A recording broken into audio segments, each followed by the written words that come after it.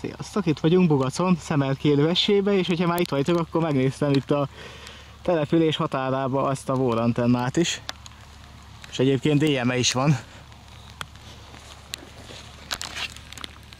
Hát itt van a másik a középhullámú a távolságmérő antenna is. Ez pedig az irányt határozza meg.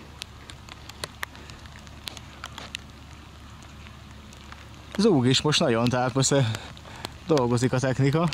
Majd közelebbről is megnézzük. Egyébként ugyanolyan, mint a tápió sápi. És ezt nézzétek, itt van a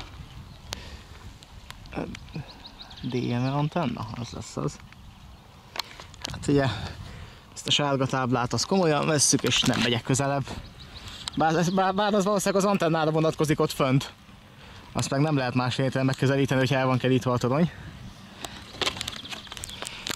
Nem, nem baj, ezt az antennát még körbejárom.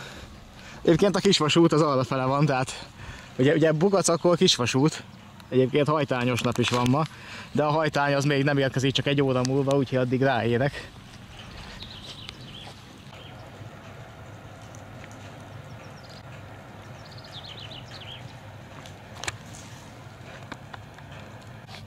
És akkor itt távolabbról.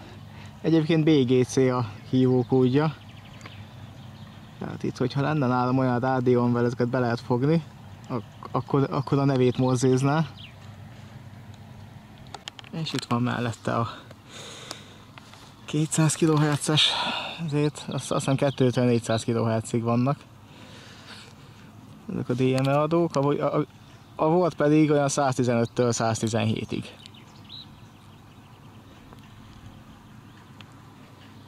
És hát akkor erről irány a vasútállomásra vissza. Ez csak egy kis gyors körbetekintő volt itt az antennától, de közben legalább elállt az eső. Egy hatalmas nagy zuhé elkapott ide fele menet. Úgyhogy ennyi, hát köszönöm, hogy ezt is megnéztétek. Sziasztok!